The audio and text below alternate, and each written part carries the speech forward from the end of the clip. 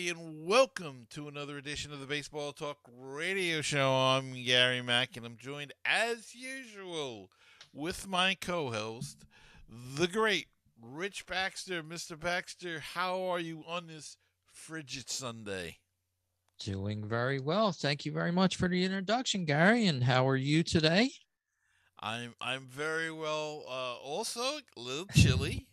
Um, and it doesn't look like we're going to be able to warm up over the TV by watching spring training baseball as they've canceled what the first week of games. Um, CBA still not signed. Their last meeting lasted 15 minutes, though they are supposed to have multiple uh, negotiations this week, so we'll see if anything comes out of it. They uh, look like they're still miles apart, and some now there's some animosity building up. Yeah, miles apart. Rob Manfred and Tony Clark still uh, with a rift between them, and uh, as you said, yeah, animosity building up on both sides of those camps. But also, you have a third party into it now. The fans are starting to feel it as they postpone the first week of spring training games so far. They're lost to this uh, work stoppage or uh, lockout, if you want to call it that. And uh, yeah, it's a shame.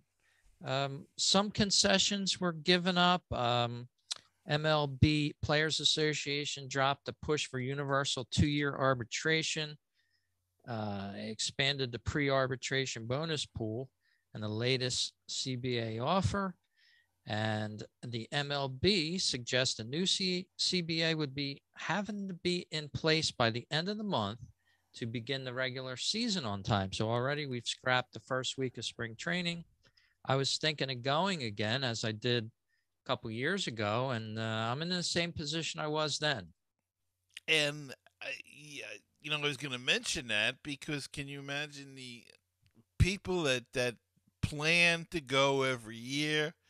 Uh, I know we have a, a our friend Barry who goes uh, has been going. Uh, you know, he started going pretty regular um, the last few years, and then the pandemic kind of shut that down. But he he knows people that that this is their vacation. This is what they do every year. They go down there, or they're snowbirds, and they go to Florida okay, they probably would have gone down anyway, but a lot of them, the focus is on going down and going spring training camp. And now they can't do that. And, and as you said, you did it two years ago, and uh, it was the pandemic got you. Um, yeah. They closed it, the, I think, the day after you left, or uh, uh, something like that. But um, so, uh, and as you said, you're thinking of going, but now you got to hold back on the reins and say, "Oh, I don't know, should I take the time now?" You know, it's crazy. Yeah, yeah, and that's um, being without baseball, and you know the previews, the magazines, they still aren't out. I I kind of like to look forward to reading these, you know, the player previews and things like that. Um, and they're not even out yet. So everything's pushed back so far. The fans are starting to get a little annoyed with it, with both sides. And here, out of um, this lack of news, comes word that Juan Soto of the Washington Nationals, uh, who's not a free agent until after the 24 season, 2024, has been said to have refused a $350 million contract that would have kept him a Washington National till about the age of 36. So uh, amazing uh, revelation there that he would refuse that kind of money. Yeah, in this day and age, and you know what's bad about that is that comes out in the middle of the CBA, so it makes the players look even more greedy. Uh, you know that uh, he turned down that kind of money, and and uh, you know, it's almost like it's starting to get personal though between Clark and and Manfred.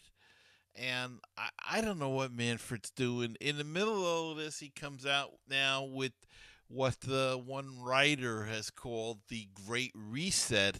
and it's a terrific article on ball9.com if you want to see it.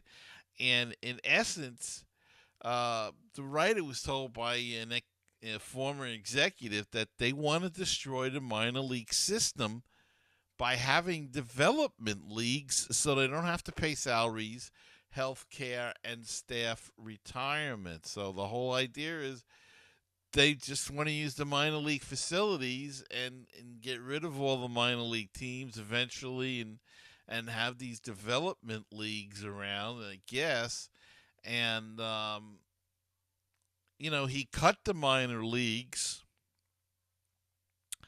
and uh, did a deep cut in that, and now this, and it's just, I don't know what this man is doing. I honestly beginning to believe that he hates the game of baseball, that he has no clue about baseball at all, the history, uh, the majesty, whatever you want to call it, and his only interest is making money for the owners, which he's been very good at, and so the owners won't get rid of him. But in the long term, he's killing the game.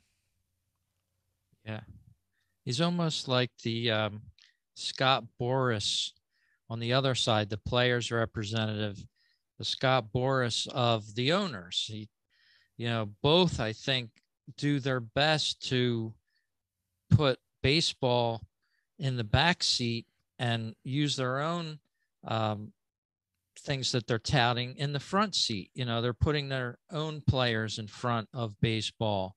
Scott Boras does. Yeah. Um, and they're they're both bad for the game in equal respects, I believe. Yeah, it's it's uh you know, I mean uh and and like the author says here, I think it's Kevin Kernan, yes, uh, formerly of the Post. Um, you know, the Juan Soto thing was bad enough, but uh, this is really uh, getting to the heart of the matter, and and you wonder if this is really showing you what their plan is. You know, to to essentially dump the minor leagues completely and uh, so they save money on coaches, scouts, trainers, you know, all all the stuff that they usually have, and then they just have them all in, in uh, the uh, spring training complex, and and with one set of trainers or uh, coaches or whatever. But um, you know, it's crazy, and then and the whole thing is crazy. They're talking about so much money. that could be lost by both sides too. It's not just one side. I mean, your example of uh, Soto turning down three hundred and fifty million dollars for thirteen years, and how old is he now? Is he? Uh, I believe he's like twenty four. So thirty seven. He he. You know, if he's still performing, he could get another contract, a smaller contract. But and and you know what? Most of these contracts now they put escape clauses in. So I don't know why you turn it down, but uh, I, I you don't know what these guys are looking for either anymore. But um, he wants to go. Uh, well, he's a Scott Boras guy, so there you go. That, that tells you right there. They yeah, don't like extensions. He's 23, so it would be a 13 year deal, $350 million. And yes, he was advised by Scott Boras. Uh, he has control over the situation. That was a quote from him. Yes, they off- yeah. made me an offer a few months ago before the lockout, but right now, quote, my agents and I think the best option is to go year by year and wait for free agency. I think that's lunacy, but uh, I, I'm for inking my name to a contract with 350 million dollars, that's all you would need in your life twice, even if it's 400 million. What's the difference? I mean, the, it's still massive money. You're committed to a team. Uh, it's greed. That's about, it's, it's the, yeah, it's a very it, greed that we're talking about. Yeah, it's about 27 million, maybe a hair less a year. He probably went 30 or more and that's probably the reason. But um, I don't know. You know, it just you can't figure out these guys nowadays, and and uh, it, it's just I I can't figure out what's going on on either side of this whole negotiation. I just can't. It just it just doesn't seem right. It it's and we're the ones that suffer because uh, I don't care what anybody says. The prices go up. Concessions will go up. Parking will go up. Ticket prices will go up because they want to keep they have to keep their profit margin. So who pays at the end? Anybody that tells you it doesn't affect the consumer. I mean, the government's been trying to tell us that the whole the last six months. That oh no, this inflation it doesn't bother you. You're making more money. No, you're not. It's getting eaten up by inflation. You're losing money. Uh, you know, they're trying to tell you it doesn't bother the consumer. It shouldn't. Well, of course it is. You think somebody that's making a product is is all of a sudden gonna have to pay more for everything that it does, you don't think they're gonna pass that on to us, and and we get hit from all sides because it's all the products, you know, with transportation, gas prices going up, um, all of that stuff, and then we get the uh, the rise, nobody else. So I don't I don't get it. I don't, you know, I I think I, I, I think these unions got to wake up. These players have got to wake up. But you know what? There's some owner that's going to give them 300 or 400 million dollars somewhere down the line. And you know, and that kills everything cuz they say see the money's there. Yep. So I don't know. I can envision in the future baseball being stripped down and, you know, a lot less teams because teams are not going to be able to uh, compete anymore. The prices of the athletes, it'll only be the richest teams and all those teams that had major league, you know, uh, teams won't have them anymore. I don't know if I'll see it in my lifetime. I don't know if I'll see it in your lifetime, but I can envision that happening because, um, uh, it, you know, it's the way it's going, and and it's what Manfred's uh, doing. I could see them doing it, you know, like the pandemic, not playing in front of anybody, so that the costs are cut down. You know, I could building small stadiums, taking the upper level off so they don't have to light it. And, eh, you know what I mean? Yeah. Um, I could see him going back to that, playing on uh, you know beautiful fields, but with nobody in attendance. Um, it seems that's the way he wants to play it. You know, who knows? Yeah.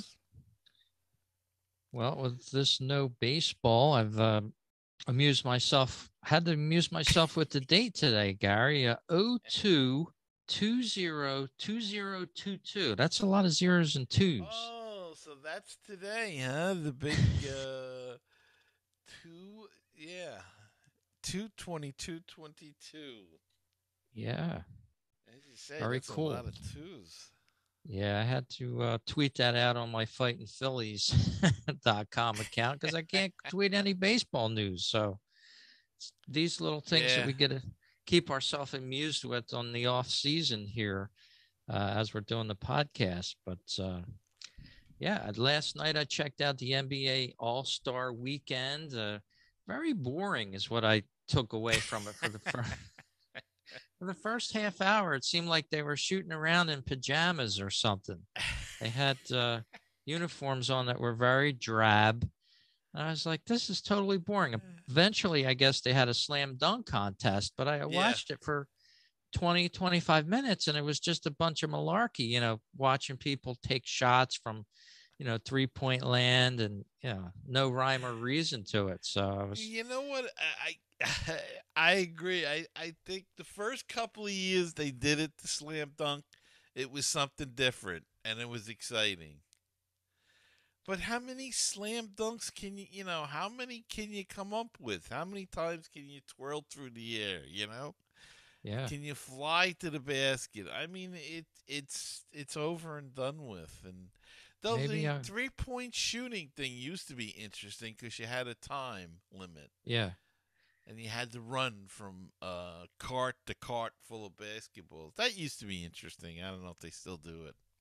I didn't think I put enough time into it last night because I, I was like, I, I just can't watch it anymore. It was and it was a good 20 to 25 minutes. There was no rhythm to it, there was no cadence to it, and it seemed like maybe just a warm-up type of thing. And I guess eventually they got down to business, but uh Yeah. we yeah. we have that to watch and some hockey still, but no baseball. Yeah, unless they start broadcasting like Dominican League or Winter League baseball. Well, sometimes somebody does. Uh, who was it one year was broadcasting some of those games? And then you'll have the college softball uh, start up. So we'll have to relegate ourselves to watching uh, other things. That's it. You've got it. It's like the pandemic, Rich, all over again. That's Well, you true, know- yeah, in a, in a different way. We'll be watching Netflix and, and Amazon Prime and uh, Hulu and all of those and uh, seeing what's on there. Yes, indeed. So, Rich, um, you know there are some other news though, and and not all good. Uh, you remember the Tyler Skaggs case? They found him dead of an overdose, and uh, it got a little messy, and they uh, arrested the Angels media director, and uh, he was on trial this past couple of weeks, and and he was found guilty by a jury for distributing fentanyl and causing the death of former Angels pitcher Tyler Skaggs. Uh, currently, he's facing a 20 year sentence in prison. Um, the uh, you know uh, the U.S. attorney is involved. Uh, said that uh, several former Angel players, including Matt Harvey, C.J. Cron, Mike Morin, and Cameron Bedrosian, all testified that Kay had distributed pills to them as well. Um, the big name in all of that probably is Matt Harvey, the former Met and Angel. That he uh, he admitted that he used cocaine during his baseball uh, career, calling himself a partier, and saying his former New York team never really asked him about it. Uh, same thing in Los Angeles; they never asked him about whether he was using cocaine. Um, it did come out later on, though, that the teams were not allowed to ask about that kind of thing. That uh, they were hamstrung. Uh, still, something should have been done, I guess. He got immunity and testified that he had given uh, Percocet and other drugs, painkillers to Skaggs uh, when they were teammates and that they had taken substances in the clubhouse that Skaggs told him that he crushed and snorted oxycodone on on the toilet paper dispenser in the clubhouse bathroom. Um, you know, it's, we're back to the painkill. Now it's painkillers, Rich, uh, that Major League Baseball's worried about and of course civil suits from the family will follow and uh, now harvey could face a, a suspension um, once the cba is signed and if he's signed he is a free agent. This could make him uh, uh, persona non grata. He may not get a contract. And um, if he does get a contract, he could get suspended right away by the league for admitting drug use. So it it just and in the end, the young man is still dead, and uh, it it's drugs. But um, we haven't heard about these kind of hard drugs being used in baseball in quite some time. Yeah, terrible story coming out of baseball. Uh, and I thought they were tested on a regular basis, but I guess not. I mean, that's all we hear is baseball is being tested for, you know, steroids and things like that. But maybe they're letting other things slip by. It was very um, concerned to, to read this, you know. Uh, baseball is just like society. It's a mirror of society, and that's a big problem across the country. Probably one that we don't even understand how big it is and how terrible it is still. But uh, yeah, to hear from Harvey and of Skaggs apparently being under the influence of these drugs while they're playing, even is is even more amazing, and um, it sort of goes hand in hand with other problems, social problems that we've seen uh, throughout the country as well, with the uh, you know different record deaths from overdoses and things. It's just it's a horrible story for baseball. I was very um, mm-hmm. not ashamed to read about it, but felt sorry for the ones that went through it. Well, yeah, and and as a Met fan, and you see another, you know, uh, we lived this, through this in the '80s with with Doc Gooden and uh, Darryl Strawberry. Both had problems with cocaine, and it really brought uh, their careers down more so Gooden uh, because he had a lot of problems trying to get off of it and uh, they say he's clean now sometimes you see him he doesn't look that good but um, uh, you know he, he says he's clean I have no reason not to doubt him and Strawberry uh, apparently has cleaned up his act but uh, those two guys were heading for the Hall of Fame. I mean, with the numbers the first couple of years that they were putting up, they were Hall of Famers. And to see their career derailed and their lives derailed as well by this uh, these insidious drugs, and um, you know, here we are, thirty years later or whatever it is, uh, thirty-five years later with the uh, Matt Harvey situation, and and we're seeing it again. And if my first thing was, oh god, it had to be Harvey. It had to be an ex Met. right. You know? And that um, that might explain some of the weirdness that was going on with Harvey as well uh, during his I, Mets career, and uh, you know, in his personal life and on the field, and his exit from the Mets. It'd be interesting to hear if more comes out on that story. But looking at the picture for that uh, employee for the Angels, uh, it doesn't exactly look like a drug pusher. And he, he you know, I'm looking at the picture for the first time of the gentleman that's been convicted, Eric Kay, and uh, it does not look like a drug pusher. If you're well, typical, quote I, unquote, you know, I don't think he was your typical drug dealer. I think he was one of these guys where he uh, you know, he probably wanted to get in with the players more and uh, was willing to do things for them. And, and, you know, the guy says, Can you get me some Percocets or Oxycodone? Because that stuff is uh, very uh, much controlled now. And uh, maybe he had a way of getting it, or he got some and he could slip them a couple of pills and uh, you know, unfortunately, I don't know why they would even take that fentanyl with all we know about it. Uh, but um, whatever, uh, he gave him the pills for. Maybe that's the reason. Who knows? You know, he just wanted to be accepted as one of the boys. You don't know. You know, and um, he got he got unfortunately Tyler Skaggs o- overdosed or died on vomit, his own vomit, and um, you know this guy got dragged into it and, and gave him the pills and and got the uh, got burnt on it and, and yeah, and the interesting know, it was his, it mm-hmm. was I was just gonna say it's just his it's his own stupidity uh, in in getting involved. But you know, people get rich. They want to be uh, uh, liked. They want to be accepted. You know, he wanted to get be in with the boys. Maybe who knows? I mean, it's it's a terrible thing.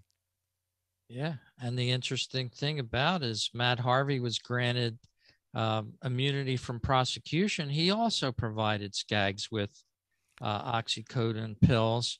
So I mean, he was subpoenaed and testified Mhm. only because he was granted immunity. He could be right with Kay right now and contributing to the death of somebody.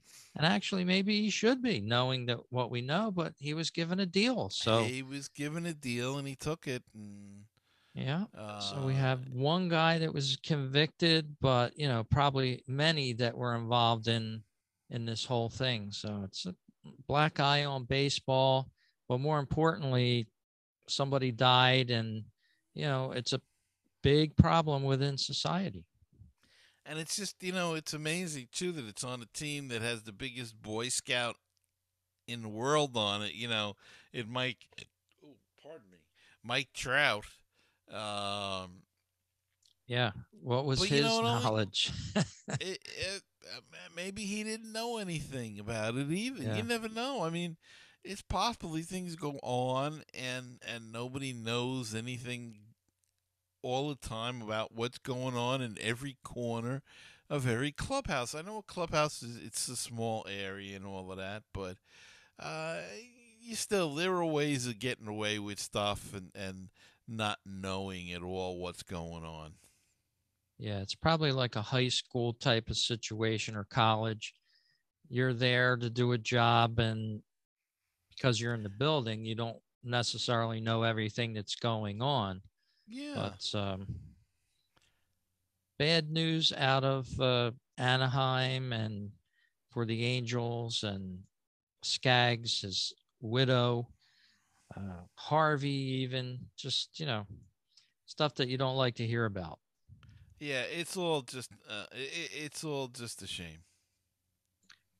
Yep. So let's move on to something a little more happy, so to speak, here on uh, a cold February day before uh, we start up spring training. Uh, baseball advertising has been in the news, and uh, the possibility that the MLB would want to put advertising on helmets and jerseys.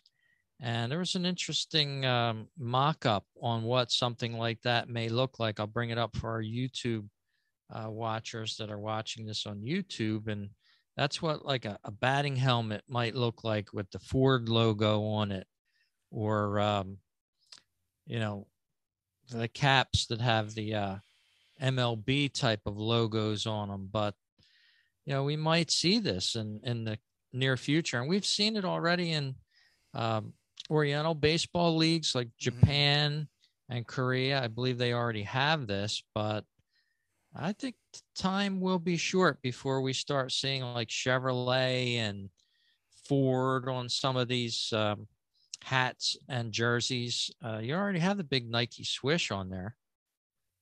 So I don't know what your feeling is about it, but uh, sign of the times, probably. It looks ridiculous. It's ridiculous. It should be nothing on. Uh, look, they got the new era logo on the hat. Okay, that that's the company, but um,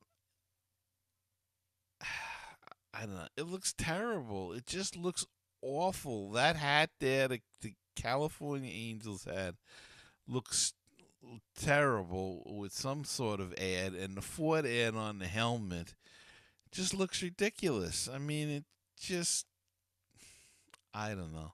Can we leave something a little bit sacred? If they want to put something on the on the shoulder, you know, that stupid Nike swoosh looks ridiculous where it is. It Yeah. should have been put on the shoulder like Majestic had it and Rawlings had it and every other company had it there. Just put a little swoosh or put Nike, put your your eh, N I K E, put it on the sleeve if you know you don't think the people will know what the swoosh is. We see in the look at you you see the swoosh there on the T-shirt. So what do we need it on the jersey for then? Yeah. Yeah, it I does mean, take it just prominence there. it just looks ridiculous. It you know it it doesn't look as bad in a hockey jersey or or a uh, uh, basketball uniform because it's a different style uniform, and I don't think it looks as bad. They don't have, you know, they don't really have the spot on the shoulder as far as the basketball uniforms go. Um, so when it came up in basketball, it looked okay. It didn't. You really didn't notice it. It kind of blended in. But baseball, you got like you know, especially like the Yankees uniform. They got an NY here, and then that stupid swoosh. It, it just it's killing all the tradition, and I you know they're gonna kill the game. I hate to keep saying it, but these stupid ideas, and again, the owners are happy because you know they're making money hand over fist with Manfred but he's killed. They're not looking at the long term prospects of the game. They're seeing everything now, the short term prospects. They're making money, but it's not good for the long term game. And I don't understand why they don't get that. Uh, just, it, it amazes me. Yeah, And I guess they see it as, you know, maybe revenue producing and everything's all about the bottom dollar these days. But uh, yeah, as you said, is nothing sacred anymore? Are we going to sell our soul to the devil? And they already have with the with the gambling. It's on. it's yeah, on every really, every sports show now. So it's uh, you know they've opened Pandora's box, so to speak you know, I mean, it started with defenses. Okay, you know, I can live with defenses. They flash around. You see an M and M's, you see the Coca Cola, whatever. I I can live with that. They want to put it all over the stadium. I got no. I have no problem with that.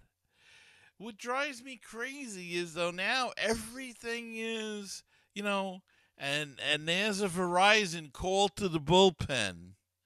Um, you know, and and uh, he is a Purina Dog Chow pinch hitter, uh, pinch runner going in, and that'll bring about the. Uh, I, I, I, am looking around to see uh, the Purell uh, sanitary pinch runner.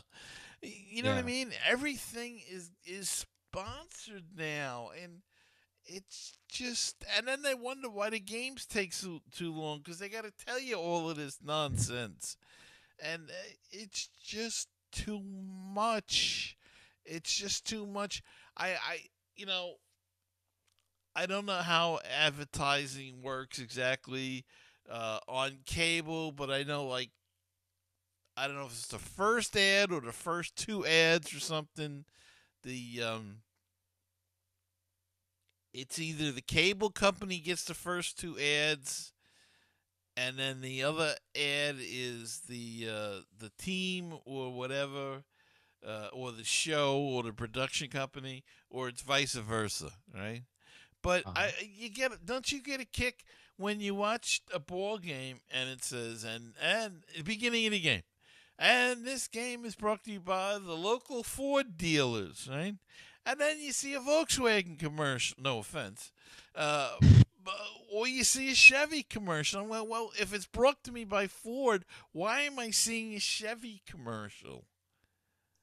You know, yep. and I, I, I, it's and then it's the same damn commercial every inning.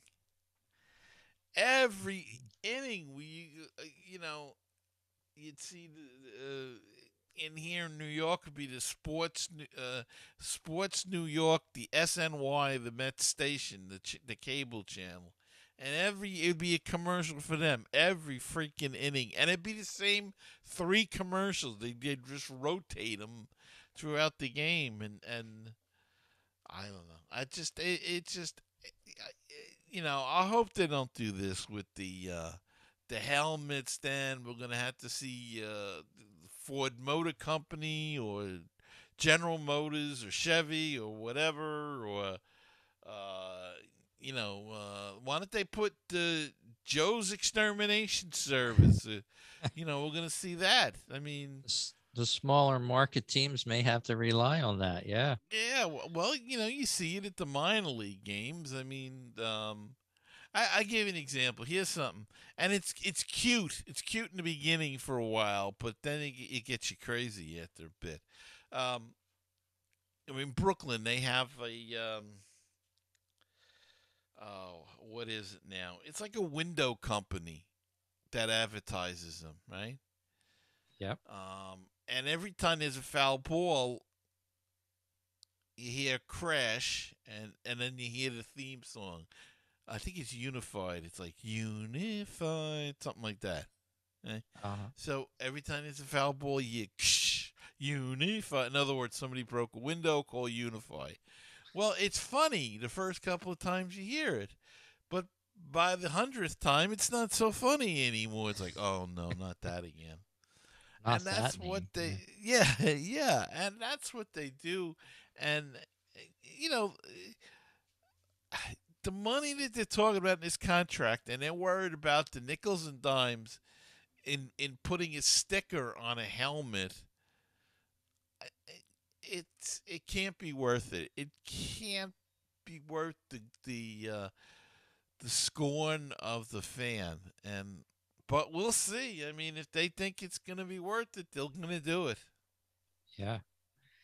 Well, that brings us back to our show. I know I've been asking for, you know, listeners of the show to sign up with our sponsorship over at anchor.fm forward slash baseball talk radio show.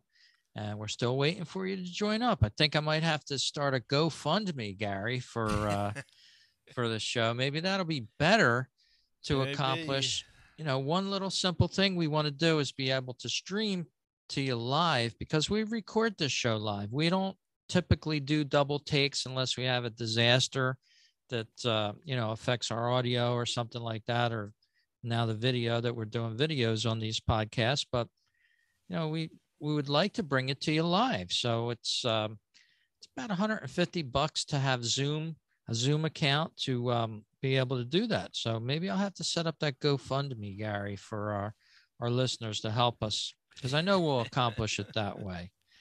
But um, our show is brought to you by the baseballtalkradio.com. It's a collection of 50 podcasts, all talking about our favorite sport, that, of course, baseball.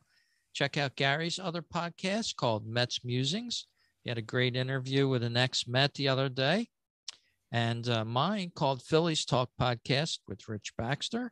And of course, this show, the Baseball Talk Radio Show. It's mo- one of a m- number of different great baseball talk shows. Baseball and Barbecue is on there with some great interviews all the time. You like to do some barbecuing, you're going to learn a lot from that show. Baseball PhD with the great Ed Kasputis and his gang, uh, Farley Dillinger, among others. And um, we have Great a couple new ones on there. yes, check it out, baseballtalkradio.com. Um, one that I like, it's Cardinals Baseball Talk. They call it the best baseball podcast, and that's with uh, Derrick Goold from the St. Louis Post Dispatch and a ton of other shows. So check it out, baseballtalkradio.com, and uh, even subscribe to our YouTube feed. Just search for Baseball Talk Radio Show.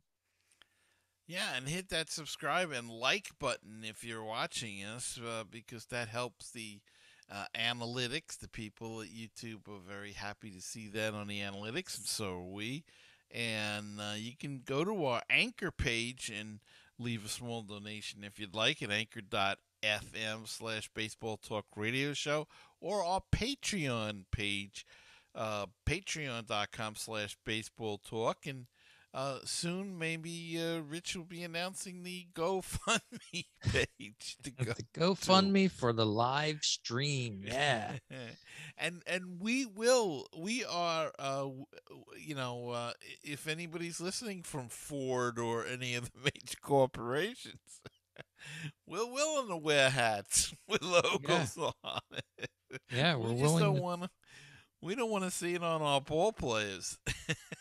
Willing to do what it takes uh, for, you know, to stream to you, all for you. It's going to go right back to your, you know, your benefits. So uh, check it out. Coming soon, the GoFundMe page for the Baseball Talk Radio Show. But Gary, uh, some of the fallout from no baseball down in Florida and Arizona has uh, Boston Red Sox JetBlue Park hosted a open house just the other day um, when it was supposed to be the start start of spring training, but it's been delayed. Um, they opened their doors to the fans for little tours and things like that, being able to walk around the stadium because people made their plans in advance are already down there, like you said. So uh, sometimes you can't cancel these plans so easily. So the ballpark down there opened its doors. Uh, a lot of people from the uh, Buffalo, New York area was down there. Some other Red Sox fans from the Boston area, and uh, a very nice, nice thing. That's awesome for the uh, Boston Red Sox to have been able to do that and uh, open their doors up to the fans. I know because I I was met with a lock on each stadium uh, back with the pandemic when they closed it down. It was Yeah. I think only the Yankees were still somewhat hanging on to a thread of uh, some workouts and things, as I remember. And uh, but everything else was, you know, you drive up to the stadium and you have to look at it from the outside. But kudos to JetBlue Park there for the Boston Red Sox with that opening house. Yeah, it's a smart move, and and uh, you know to keep people involved in in uh, the fandom and all of that. Um, boy, they got to get they got to get something done here. This is just getting ridiculous now. People are getting disgusted.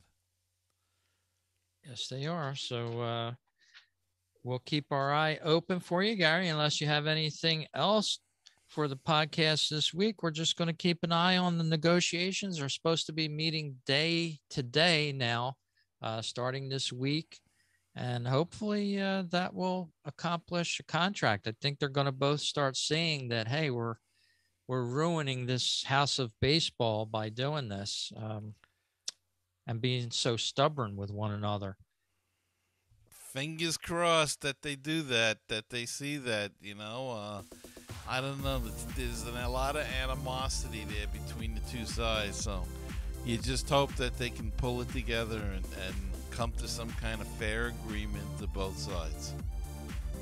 Absolutely. Well, thank you for tuning in to this edition of the Baseball Talk Radio Show, everyone. Have a great week. Send us an email or a voicemail through our website at anchor.fm forward slash baseball talk radio show. We'd love to hear from you. And we'll see you again next time on another edition of the Baseball Talk Radio Show.